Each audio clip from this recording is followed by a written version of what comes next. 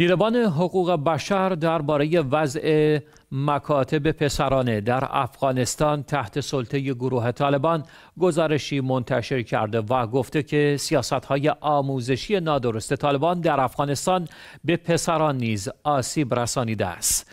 این گزارش 19 صفحه‌ای بامداد چهارشنبه 15 آذر تحت عنوان مکاتب پسرانه هم شکست می‌خورند تأثیر طالبان بر آموزش پسران در افغانستان منتشر شده است. بر اساس این گزارش اقدامات طالبان مبنی بر اخراج آموزگاران زن، تنبیه بدنی دانش آموزان و تغییرات واپسگرایانه در نصاب آموزشی مکاتب پسرانه را هم با شکست مواجه کرده است.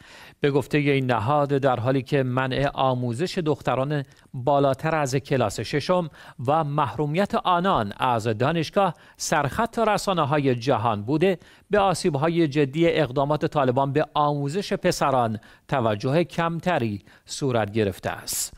پژوهشگران این گزارش گفتند که طالبان های جبران ناپذیری به سیستم آموزشی افغانستان برای پسران و همچنان دختران وارد می کند. آنها با آسیب رساندن به کل سیستم آموزشی در افغانستان خطر پرورش نسلی را ایجاد می کند که از آموزش با کیفیت محروم هستند. به گفته این نهاد طالبان تمام آموزگاران زن مکاتب پسرانه را اخراج کردند و حذف آنان از مکاتب پسرانه سبب شده است که دانش آموزان پسر به دست آموزگاران غیر حرفه مرد آموزش ببینند یا حتی مجبور شوند به حضور در سنفهای بدون آموزگار شوند.